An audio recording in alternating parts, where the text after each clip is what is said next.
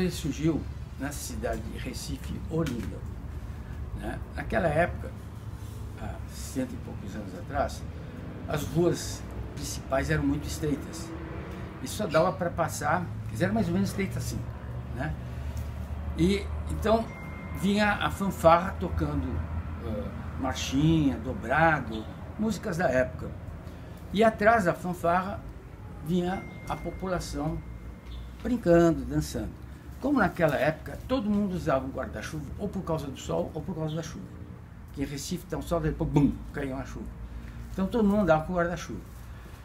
Aí o que acontece? Vinha uma banda de lá e outra de cá. Então, como o pernambucano é muito altivo, ele não dá passagem. Ele que tem que passar primeiro. O que, que eles faziam? Ficavam se enfrentando.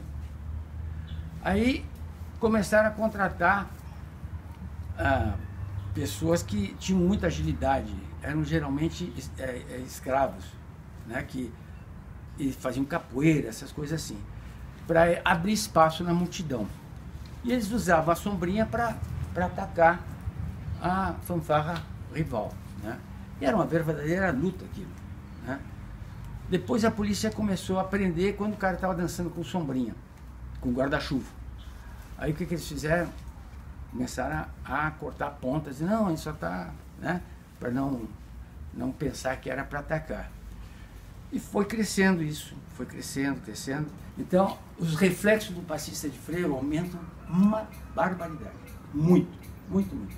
Por causa da postura dos pés. E também dos movimentos que se faz com os braços.